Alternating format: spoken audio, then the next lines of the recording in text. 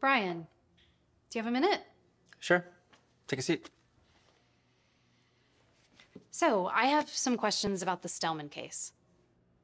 What about it? I just want to make sure I understand everything correctly. The Stellman Corporation knew about the poor working conditions, they were informed about the injuries, and they did nothing. There's undeniable evidence about that. Yeah, that's right. Now a man has died, and they are trying to get out of compensating his family. What's your point? Well, this is reprehensible. How can we represent an organization like this? Listen, there will always be good guys and bad guys. Someone has to represent the bad guy. Usually that someone makes the most money. I get that, but there are limits to how low one will stoop for money.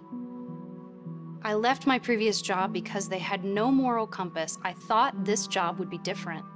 You're right. We are different. But the bottom line is that once we lost the Garrison case, we've been struggling to keep our heads above water. We can't turn down this case. So, what you're saying is anyone who walks in and waves a fat wad of cash in front of your face, you will take on as a client no matter what. If it means keeping the lights on, then I'm sorry, but yeah. I see.